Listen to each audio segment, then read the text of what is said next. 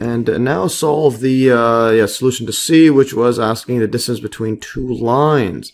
So if two lines intersect, then the shortest distance is zero at the point of interse intersection, and we can equate both lines and solve for their parameters. So if we have the simple case where they they actually intersect, so let's say you had a line like this, we'll call this uh, L1, and this one's L2, like that, and yes, that's L2, and so there's a point of intersection, so we can just equate them like that. So let's say we have uh, L L1 is equal to uh, R uh, the equation for L, L, L1 is equal to, this can be, we'll call this R2 equals to, um, like that. Yeah, R2, actually instead of uh, R naught, I, I was call this P2. Let's say it's a point on it, or vector of it to it, so P2, this is actually P1.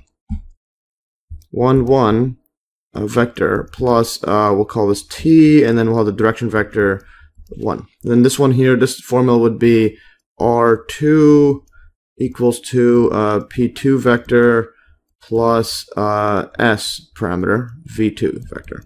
And this one, again, the direction vector is V2 is like that. And let's say it has a point on it. The starting point is going to be our P2 like this one. So that's our P2. This is point P1 on it. And then the number, the vector is just, is just going from the origin to this. That'll be P2 like that. I'll, I'll just uh, draw it for completeness. So again, if you have our x, y, this is going to be a y, z, x, like that. This is going to be our P2 vector. Or this is just our P2, is a point, and the vector P2 with an arrow on top. Alright, so we have that, and this uh, direction vector is uh, going downwards. Is our V1, like that vector. And this is the point of intersection. And then this one, we just equate them and then solve for S and T such that all these are equal. Such uh, yeah, we have the exact same point. So you set those equal to it. So we go R2, uh, yeah, R1 vector equals to R2 vector. Solve for, uh, yeah, solve for TNS. and then uh, once we do that, we plug that in and then uh, so if if we can solve it, the distance is zero. Yeah. So going further, so uh, if there's no solution, then the then the lines don't intersect. So then they're not. Uh, yeah, they don't intersect. So we got to go further. So if two lines are parallel, then the cross product of their position vectors is zero, and we can solve the distance by the same method as with the distance between a, a point and a line. Yeah, so uh, what this uh, means is uh, basically, yeah, if, if so two lines are parallel, yeah, their cross product is uh, of their position vector zero because they'll be both parallel. Like, uh, so if we go back to over here, so what I'll do is, let's say we have two parallel uh, vectors. I mean, two par yeah, two parallel lines. Let's call this line line one. This can be line two. So this is parallel. So direction, their direction vectors, we'll call this v1 and v2, like that. So if you were to take the cross product of them, you're basically going to have a V1 uh, like this, uh, V1, and the other one's going to be overlaid on top of it. V2, cross product is going to be uh, 0. V1 uh, cross V2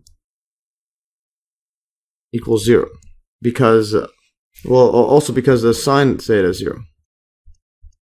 Yeah, so sine of 0 uh, would be 0, like here. Yeah, so sine of the angle zero, so that as zero uh, angle like that is equals to zero, and yeah, and uh, that's because the cross product magnitude is equal to the area of the parallelogram, which has that sine in there. And here I just wrote this right here as well. So if two lines are parallel, then the cross product of the position vectors is zero because sine of zero degrees is zero.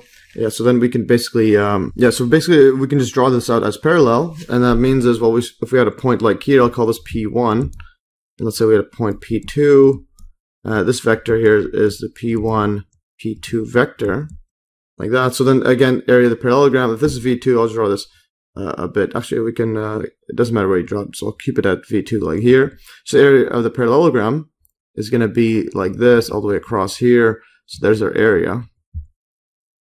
So this is our area. Area is equal to, yeah, let's put it here. Area equal to uh, P1 cross, yeah, this is P1, P2. Actually, I'll, I'll, write this out uh, later. So we have the area there. This is our area. And then this height is going to be the, the distance across it. So I'll just draw it like this. So this is going to be our, our d is our distance, and that distance is just going to be uh, the projection of p1. This is just going to be p1,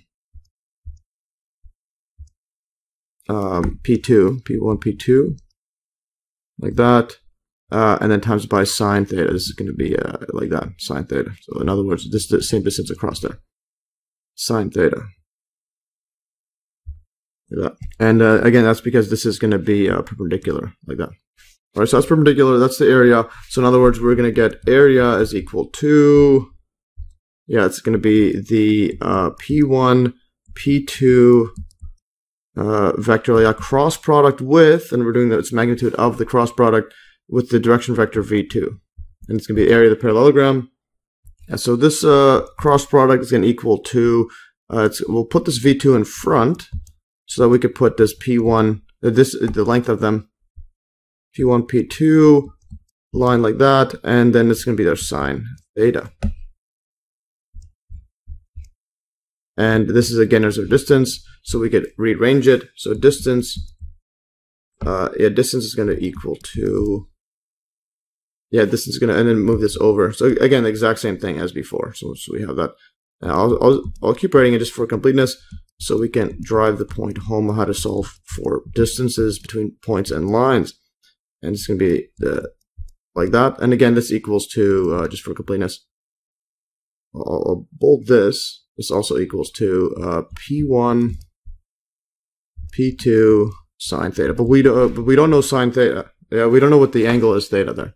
Yeah, but we could solve solve for it. Obviously, we could solve for it. You know, this point, this point, we could solve for this. But then uh, we also need to know the direction vector. So direction vector matters. So once we solve this, then we could throw that inside and solve uh, for uh, theta.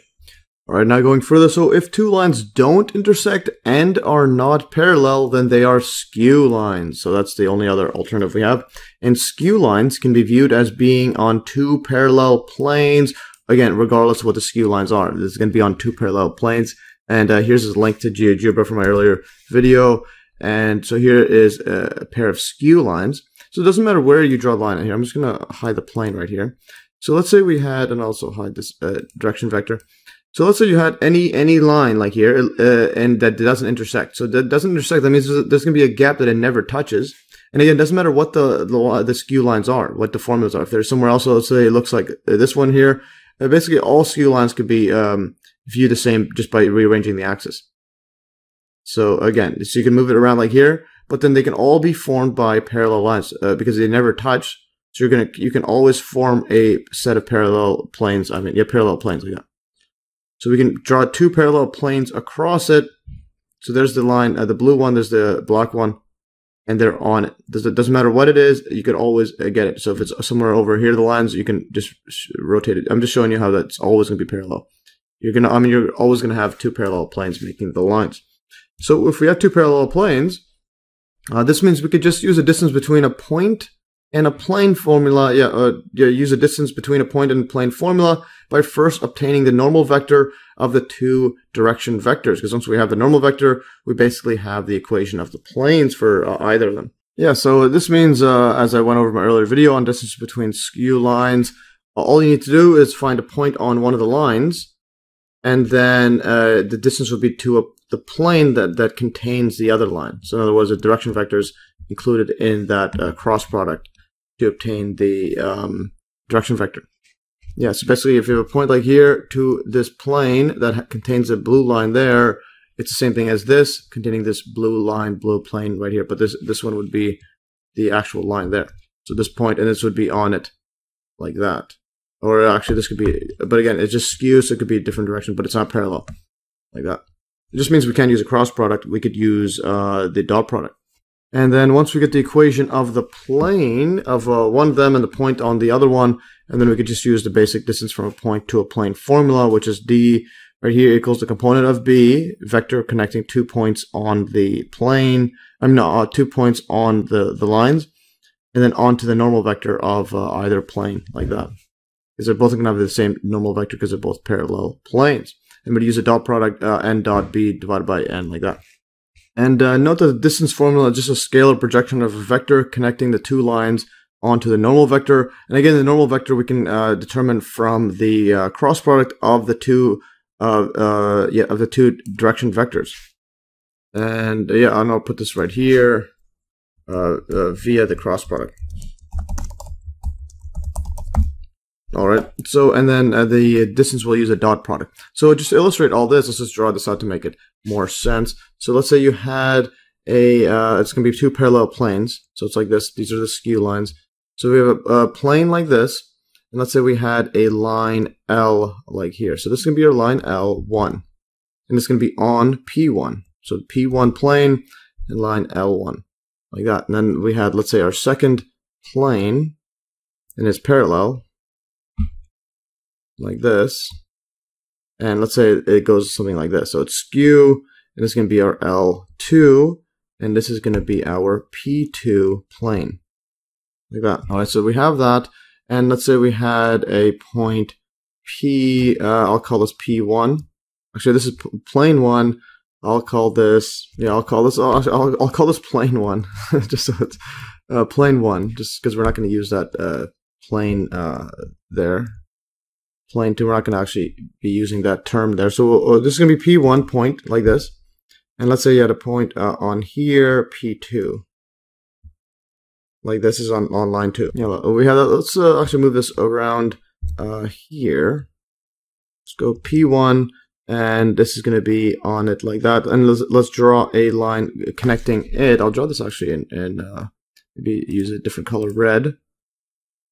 So I'll, I'll draw it in red and yeah, so we go from P1 to P2. This is going to be our, I'll call this P1, P2 vector, like that. Yeah, so then the distance is going to be from here, it's going to be the, uh, along the normal vector. So this is going to be right angles uh, like that.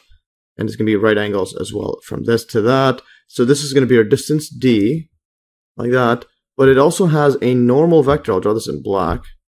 Uh, the normal vector, uh, it goes like this oops, uh, so normal vector is going to be from here, uh, it's going to be like this. This is going to be our normal vector and not, I mean, and vector, and this equals to using, the, we need the two direction vectors. So this direction vector is going to be v1 of the line, and this one is going to be v2. So this is just going to be, uh, the normal vector is, just going to be, I'll, I'll actually, this is D, I'll try this in, in uh, black like that. And same with this one here. Just I just drew the line there just so it's uh, different from this plane there. So P1, P2 like that.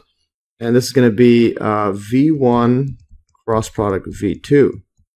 And you can uh, see that you can put uh, stack them on top of each other because uh, we're looking at along this direction of the normal vector, and you can you can uh, see that visually. You just put the V1, just stack them on top. if this is a V2 like this, and then v1's across there. Normal vectors is going to be, yeah, this is the normal vector. It's just going to be right angles from uh, of both of these lines. That's going to be a cross product, like that. And then, uh, yeah, the distance is just going to be the scalar projection of this uh, P1, P2 along the D, uh, right, uh, along the normal vector. So that's the distance. So distance is going to be equal to, uh, this is going to be, I'll write that in that, the vector, scalar vector format. So component of uh, is going to component along the normal vector n of the p1, p2 like this. This equals 2. It's going to be the uh, the projection of it. So the projection of this onto this. And that's just going to be using the formula. Uh, uh again, this is just going to be uh, p1, p2 dot product, uh, the absolute value sign of it, of the normal vector divided by the normal vector. So the unit vector, this one, this one here multiplied by the uh, dot product, it can be viewed as multiplication of the, the unit vector. There, uh, this is distance. Yeah, somewhere. Yeah, and uh, yeah, then this is just this is the just the formula for the distance uh, between a point and a line right here. This is the b. Uh, I just called it p1, p2, uh, the vector, and this is the n dot b. It doesn't matter if you have n dot b or this. This also equals to b dot n. Oh, yes, it doesn't matter which direction you use it at. So n dot b then divided by the n, and then you get this formula, and so on. So I will just uh, bold this right here. So that's our distance right there. Yeah, and that's the distance between two uh, skew lines, just using parallel planes and so on to get solved up. And watch my earlier video on this one as well. Again, all uh, this will be in a sections uh, playlist.